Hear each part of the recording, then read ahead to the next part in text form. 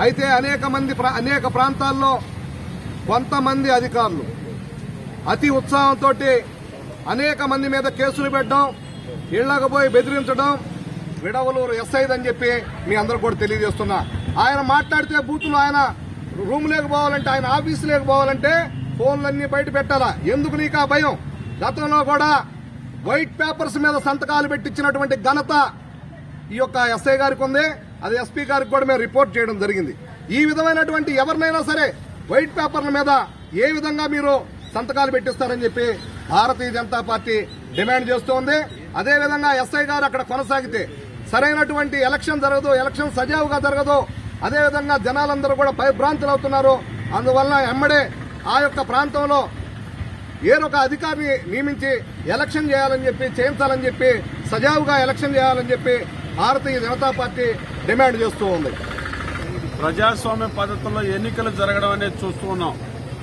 కానీ విడవలూరు మండలం ఊటుకూరులో మాత్రం రంగస్థలంలో సినిమాలో తలపించేటువంటి విధంగా ప్రభుత్వ స్థలాలని అదే రకంగా అనేక వందల వేల ఎకరాలని తమ కనుసన్నల్లో పెట్టుకొని ఏ పార్టీ అధికారంలోకి వస్తే ఆ పార్టీతో అండతో అక్కడ ఉన్నటువంటి కోట్లాది రూపాయల యొక్క ప్రజాధనాన్ని కొల్లగొడుతున్నటువంటి ఒక వ్యక్తులు ఎవరైతే ఉన్నారో వాళ్ళు ఈరోజు వైఎస్ఆర్ వైఎస్ఆర్సీపీ పార్టీలో చేరి అక్కడ ఉన్నటువంటి స్థానిక ఎమ్మెల్యేని కూడా ప్రలోభ పెట్టి నిజమైనటువంటి వైఎస్ఆర్సీపీ కార్యకర్తలను వేధిస్తే వాళ్ళని వేదనకు గురి చేస్తే వాళ్ళందరూ భారతీయ జనతా పార్టీలో చేరి ఈరోజు అక్కడ ఒక గిరిజన మహిళను పోటీ పెట్టడం జరిగింది.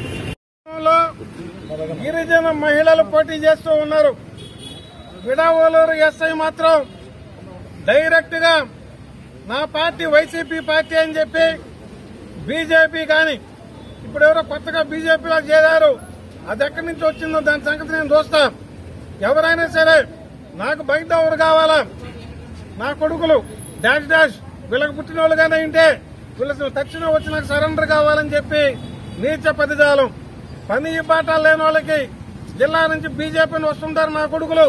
ఎనిమిది అసభ్యకరమైన పదజాలంతో ఇష్టం వచ్చిన రీతిలో మాట్లాడడం జరిగింది.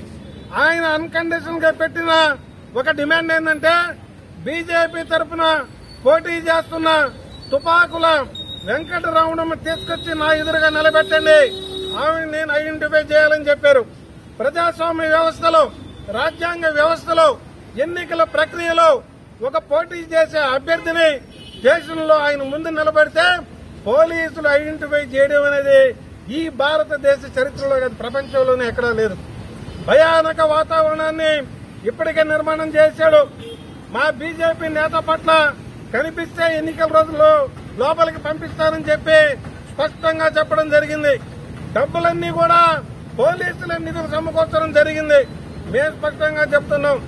ఓ ఎస్ఐ గారు నీ వెనుక వైసీపీ పార్టీ ఉంటే తుపాకుల వెంకటరమణమ్మ వెనుక భారతీయ జనతా పార్టీ ఉంది. నీ వెనక ఇతర పెద్దోళ్ళు ఉంటే మా వెనుక కూడా మాకు నరేంద్ర మోడీ ఉన్నారు. నీ యొక్క అరాచకాలతో బీజేపీ కార్యకర్తలను బీజేపీ ఏజెంట్ల పట్ల నువ్వు నిష్పక్షపాతంగా వ్యవహరించవన్న నివేదిక మా దగ్గర ఉంది. పోలీస్ డిపార్ట్మెంట్కి మేము స్పష్టంగా చెప్తున్నాం. గిరిజనులు స్వేచ్ఛగా ఓటు హక్కు వేసుకోవాలంటే ఎస్ఐని తక్షణమే ఎన్నికల విధుల నుంచి తప్పించాలని చెప్పి మీరు నిరసన కార్యక్రమం చేస్తున్నాం. ఆయన దేనికి సిద్ధమైన? భారతీయ జనతా పార్టీ కూడా అందుకు సిద్ధంగా ఉందని చెప్పి స్పష్టంగా చెప్తూ